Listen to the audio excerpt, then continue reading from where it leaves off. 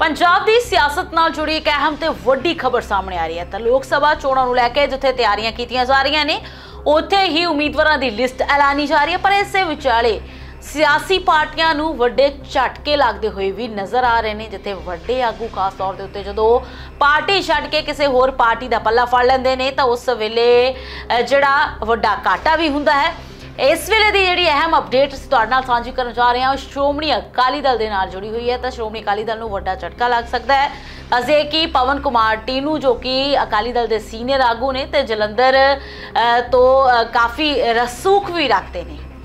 ਉਹ ਆਮ ਆਦਮੀ ਪਾਰਟੀ ਦੇ ਵਿੱਚ ਸ਼ਾਮਲ ਹੋ ਸਕਦੇ ਨੇ। ਚਰਚਾਵਾਂ ਇਹ ਵੀ ਨੇ ਕਿ ਅੱਜ ਹੀ ਦੁਪਹਿਰ ਚੰਡੀਗੜ੍ਹ ਦੇ ਵਿੱਚ ਉਹ ਆਮ ਆਦਮੀ ਪਾਰਟੀ ਦੇ ਵਿੱਚ ਸ਼ਾਮਲ ਹੋ ਜਾਣਗੇ। ਇੰਨਾ ਹੀ ਨਹੀਂ, ਬਲਕਿ ਜਲੰਧਰ ਤੋਂ ਉਹਨਾਂ ਨੂੰ ਉਮੀਦਵਾਰ ਵੀ ਆਮ ਆਦਮੀ ਪਾਰਟੀ ਦੇ ਵੱਲੋਂ ਐਲਾਨਿਆ ਜਾ ਸਕਦਾ ਹੈ, ਕਿਉਂਕਿ ਇਸ ਤੋਂ ਪਹਿਲਾਂ ਸੁਸ਼ੀਲ ਕੁਮਾਰ ਰਿੰਕੂ ਜਿਹੜੇ ਕਾਂਗਰਸ ਛੱਡ ਕੇ ਆਮ ਆਦਮੀ ਪਾਰਟੀ ਦੇ ਵਿੱਚ ਸ਼ਾਮਲ ਹੋਏ ਸੀ, ਉਹਨਾਂ ਨੂੰ ਐਮਪੀ ਦੀ ਟਿਕਟ ਦਿੱਤੀ ਗਈ ਸੀ। ਤਾਂ ਉਸ ਤੋਂ ਬਾਅਦ ਮੁੜ ਤੋਂ ਉਮੀਦਵਾਰ ਉਹਨਾਂ ਨੂੰ ਐਲਾਨ ਦਿੱਤਾ ਗਿਆ ਸੀ। ਪਰ ਇਸ ਵਿਚਾਲੇ ਸੁਸ਼ੀਲ ਕੁਮਾਰ ਰਿੰਕੂ ਭਾਜਪਾ ਦੇ ਵਿੱਚ ਸ਼ਾਮਲ ਹੋ ਜਾਂਦੇ ਨੇ, ਆਮ ਆਦਮੀ ਪਾਰਟੀ ਨੂੰ ਛੱਡ ਕੇ ਤੇ ਹੁਣ ਇਹ ਕਿਆਸਰੀਆਂ ਲਗਾਈਆਂ ਜਾ ਰਹੀਆਂ ਨੇ ਕਿ ਜਲਦੀ ਹੀ ਪਵਨ ਕੁਮਾਰ ਟੀਨੂ ਆਮ ਆਦਮੀ ਪਾਰਟੀ ਦੇ ਵਿੱਚ ਸ਼ਾਮਲ ਹੋ ਸਕਦੇ ਨੇ ਤੇ ਇਸੇ ਦੇ ਨਾਲ ਨਾਲ ਜਿਹੜਾ ਹੈ, ਉਹਨਾਂ ਨੂੰ ਜਲੰਧਰ ਤੋਂ ਉਮੀਦਵਾਰ ਐਲਾਨਿਆ ਜਾ ਸਕਦਾ ਹੈ। ਹਾਲਾਂਕਿ ਜ਼ਿਕਰਯੋਗ ਹੈ ਕਿ ਇਸ ਦੌਰਾਨ ਜੇਕਰ ਵਿਧਾਇਕ ਦੇ ਬਿਆਨ ਦੀ ਗੱਲ ਕਰੀਏ ਤਾਂ ਉਹਨਾਂ ਦਾ ਕਹਿਣਾ ਹੈ ਕਿ ਉਹ ਕਿਸੇ ਵੀ ਪਾਰਟੀ ਦੇ ਵਿੱਚ ਸ਼ਾਮਲ ਨਹੀਂ ਹੋ ਰਹੇ।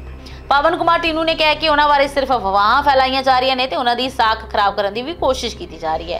ਤੇ ਉਹ ਅਕਾਲੀ ਦਲ ਛੱਡ ਕੇ ਕਿਤੇ ਵੀ ਨਹੀਂ ਜਾ ਰਹੇ। ਦੱਸਣਯੋਗ ਇਹ ਵੀ ਹੈ ਕਿ ਖਬਰਾਂ ਆ ਰਹੀਆਂ ਨੇ ਕਿ ਜੇਕਰ ਪਵਨ ਕੁਮਾਰ ਟੀਨੂ ਆਮ ਆਦਮੀ ਪਾਰਟੀ 'ਚ ਸ਼ਾਮਲ ਹੁੰਦੇ ਨੇ ਤਾਂ ਪਾਰਟੀ ਉਹਨਾਂ ਨੂੰ ਜਲੰਧਰ ਤੋਂ ਟਿਕਟ ਵੀ ਦੇ ਸਕਦੀ ਹੈ। ਇੱਥੇ ਵੀ ਦੱਸ ਦਈਏ ਕਿ ਪਹਿਲਾਂ ਆਮ ਆਦਮੀ ਪਾਰਟੀ ਵੱਲੋਂ ਜਲੰਧਰ ਤੋਂ ਸੁਸ਼ੀਲ ਕੁਮਾਰ ਰਿੰਕੂ ਨੂੰ ਟਿਕਟ ਦਿੱਤੀ ਗਈ ਸੀ, ਪਰ ਉਹ ਭਾਜਪਾ ਦੇ ਵਿੱਚ ਸ਼ਾਮਲ ਹੋ ਗਏ। ਤੇ ਇੱਥੇ ਇਹ ਇਹ ਵੀ ਜ਼ਿਕਰਯੋਗ ਹੈ ਕਿ ਪਹਿਲੀ ਲਿਸਟ ਜਿਹੜੀ ਬੀਤੇ ਕੱਲ ਐਲਾਨ ਕੀਤੀ ਗਈ ਸੀ ਜਾਂ ਲਿਸਟ ਜਾਰੀ ਕੀਤੀ ਗਈ ਸੀ ਸ਼੍ਰੋਮਣੀ ਅਕਾਲੀ ਦਲ ਦੇ ਵੱਲੋਂ, ਉਸ ਦੇ ਵਿੱਚ ਜਲੰਧਰ ਨੂੰ ਲੈ ਕੇ ਕਿਸੇ ਤਰ੍ਹਾਂ ਦੀ ਕੋਈ ਅਨਾਉਂਸਮੈਂਟ ਜਿਹੜੀ ਸੀ ਉਹ ਨਹੀਂ ਸੀ।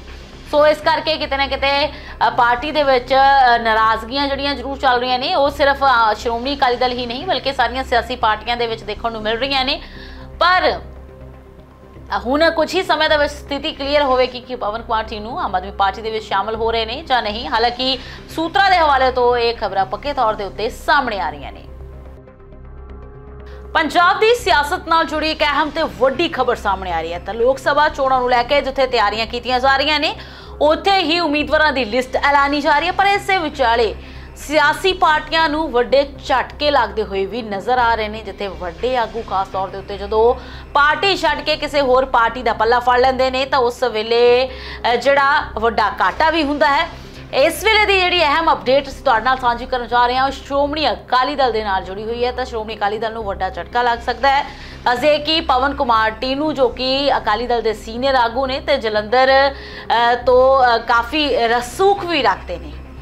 ਉਹ ਆਮ ਆਦਮੀ ਪਾਰਟੀ ਦੇ ਵਿੱਚ ਸ਼ਾਮਲ ਹੋ ਸਕਦੇ ਨੇ। ਚਰਚਾਵਾਂ ਇਹ ਵੀ ਨੇ ਕਿ ਅੱਜ ਹੀ ਦੁਪਹਿਰ ਚੰਡੀਗੜ੍ਹ ਦੇ ਵਿੱਚ ਉਹ ਆਮ ਆਦਮੀ ਪਾਰਟੀ ਦੇ ਵਿੱਚ ਸ਼ਾਮਲ ਹੋ ਜਾਣਗੇ। ਇੰਨਾ ਹੀ ਨਹੀਂ, ਬਲਕਿ ਜਲੰਧਰ ਤੋਂ ਉਹਨਾਂ ਨੂੰ ਉਮੀਦਵਾਰ ਵੀ ਆਮ ਆਦਮੀ ਪਾਰਟੀ ਦੇ ਵੱਲੋਂ ਐਲਾਨਿਆ ਜਾ ਸਕਦਾ ਹੈ, ਕਿਉਂਕਿ ਇਸ ਤੋਂ ਪਹਿਲਾਂ ਸੁਸ਼ੀਲ ਕੁਮਾਰ ਰਿੰਕੂ, ਜਿਹੜੇ ਕਾਂਗਰਸ ਛੱਡ ਕੇ ਆਮ ਆਦਮੀ ਪਾਰਟੀ ਦੇ ਵਿੱਚ ਸ਼ਾਮਲ ਹੋਏ ਸੀ, ਉਹਨਾਂ ਨੂੰ ਐਮਪੀ ਦੀ ਟਿਕਟ ਦਿੱਤੀ ਗਈ ਸੀ। ਤਾਂ ਉਸ ਤੋਂ ਬਾਅਦ ਮੁੜ ਤੋਂ ਉਮੀਦਵਾਰ ਉਹਨਾਂ ਨੂੰ ਐਲਾਨ ਦਿੱਤਾ ਗਿਆ ਸੀ। ਪਰ ਇਸ ਵਿਚਾਲੇ ਸੁਸ਼ੀਲ ਕੁਮਾਰ ਰਿੰਕੂ ਭਾਜਪਾ ਦੇ ਵਿੱਚ ਸ਼ਾਮਲ ਹੋ ਜਾਂਦੇ ਨੇ, ਆਮ ਆਦਮੀ ਪਾਰਟੀ ਨੂੰ ਛੱਡ ਕੇ ਤੇ ਹੁਣ ਇਹ ਕਿਆਸਰੀਆਂ ਲਗਾਈਆਂ ਜਾ ਰਹੀਆਂ ਨੇ ਕਿ ਜਲਦੀ ਹੀ ਪਵਨ ਕੁਮਾਰ ਟੀਨੂ ਆਮ ਆਦਮੀ ਪਾਰਟੀ ਦੇ ਵਿੱਚ ਸ਼ਾਮਲ ਹੋ ਸਕਦੇ ਨੇ ਤੇ ਇਸੇ ਦੇ ਨਾਲ ਨਾਲ ਜਿਹੜਾ ਹੈ, ਉਹਨਾਂ ਨੂੰ ਜਲੰਧਰ ਤੋਂ ਉਮੀਦਵਾਰ ਐਲਾਨਿਆ ਜਾ ਸਕਦਾ ਹੈ। ਹਾਲਾਂਕਿ ਜ਼ਿਕਰਯੋਗ ਹੈ ਕਿ ਇਸ ਦੌਰਾਨ ਜੇਕਰ ਵਿਧਾਇਕ ਦੇ ਬਿਆਨ ਦੀ ਗੱਲ ਕਰੀਏ ਤਾਂ ਉਹਨਾਂ ਦਾ ਕਹਿਣਾ ਹੈ ਕਿ ਉਹ ਕਿਸੇ ਵੀ ਪਾਰਟੀ ਦੇ ਵਿੱਚ ਸ਼ਾਮਲ ਨਹੀਂ ਹੋ ਰਹੇ।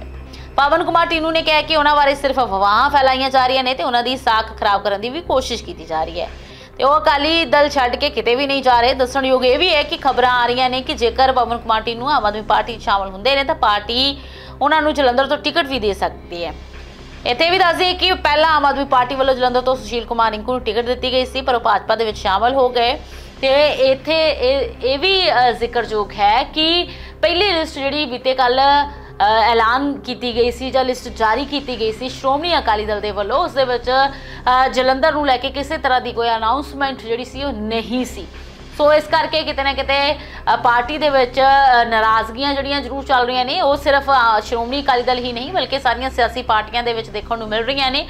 ਪਰ ਹੁਣ ਕੁਝ ਹੀ ਸਮੇਂ ਦੇ ਵਿੱਚ ਸਥਿਤੀ ਕਲੀਅਰ ਹੋਵੇਗੀ ਕਿ ਪਵਨ ਕੁਮਾਰ ਟੀਨੂ ਆਮ ਆਦਮੀ ਪਾਰਟੀ ਦੇ ਵਿੱਚ ਸ਼ਾਮਲ ਹੋ ਰਹੇ ਨੇ ਜਾਂ ਨਹੀਂ। ਹਾਲਾਂਕਿ ਸੂਤਰਾਂ ਦੇ ਹਵਾਲੇ ਤੋਂ ਇਹ ਖਬਰਾਂ ਪੱਕੇ ਤੌਰ ਦੇ ਉੱਤੇ ਸਾਹਮਣੇ ਆ ਰਹੀਆਂ ਨੇ।